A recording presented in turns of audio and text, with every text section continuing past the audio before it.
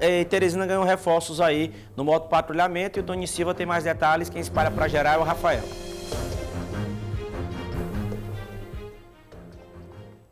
A Polícia Militar do Piauí apresentou na manhã desta segunda-feira, no centro da capital piauiense, um reforço em moto patrulhamento, que fará parte da Operação Saturação, que será empregada nas mais diferentes regiões da capital e com possibilidade de expansão ao restante do estado. Vamos saber mais da dinâmica desta operação com o comandante do Metropolitano 2, Coronel Menezes imaginamos e pensamos e vendo a necessidade, o clamor da população por um tipo de policiamento, a modalidade de policiamento mais rápido e eficaz, nós criamos esse grupo dentro do Comando Metropolitano 2, que pega a, área, a toda a área da, da, da Zona Sul, vai até Curralinho, né? E desenvolvemos aí uma, uma parceria entre as unidades. As unidades trabalhavam de forma isolada nesse combate, nesse, nessa modalidade de policiamento, e hoje eles passam a trabalhar de forma associada, né?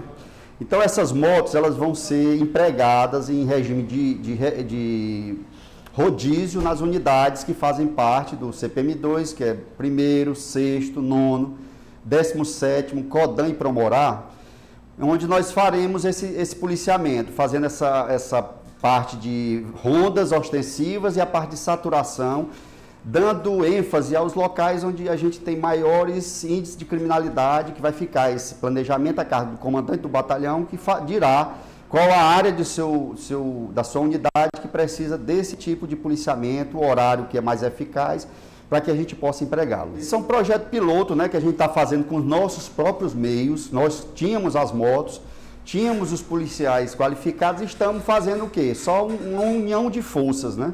Quer dizer, os batalhões se uniram em prol da segurança pública da Zona Sul. Aí a gente espera que isso evolua, que, que essa, essa, essa ideia ela seja melhorada e traga que, esse acesso à, motocicleta toda, a toda o Piauí, Teresina, como forma piloto, né?